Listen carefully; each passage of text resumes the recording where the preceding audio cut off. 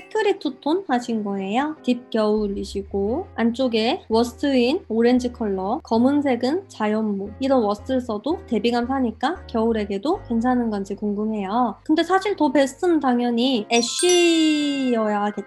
좀 밝은 ash면 예쁘실 것 같은데 밝은 ash 모든 걸 다 탈색모 하는 것보다는 흑발이 있는 게 낫기는 하겠지만 베스트라고는 할 수 없어요. 겨울 deep이시잖아요. 그러면은 이런 것도 위험해요. 이런 것도 되게 애매해. 이건 이제 여름 soft나 괜찮지. 차라리 붙임머리나 이런 거 활용하셔도 괜찮으니까 대비감이 확 사는 sombre나 뭐 secret two-tone을 하시면 좋겠어요. ombre도 괜찮고 ombre는 이제 여기가 아예 절단이 돼서 여기 다르고 여기 다른 거니까. 근데 secret two-tone도 나쁘진 않을 것 같아요. 어, 뭐 이런 것도 예쁠 것 같아요. 그러니까 대비감이 크죠. 근데 이제 이게 흑발 부분 좀 더 많고 밝은 게 더 낮았으면 좋겠죠. 대비감이 확 큰 게 훨씬 예쁠 것 같아요. 이런 것도 예쁠 것 같네요. 이 정도의 밝기 차이는 나야 할 것 같습니다. 위에는 좀 더 흑발이면 좋겠고요. 그러면 대비감 훨씬 더 커지겠죠. 겨울 타입, 여름 타입 중에서 탈색모 잘 어울리는 사람 없어요. 탈색모의 그 생노랑을 잘 맞는 사람들은 피부가 엄청 밝은 가을 light? 근데 봄 light는 피부가 아무리 밝다고 해도 그런 게 같지가 않고요. 가을 light 분들이 베스트로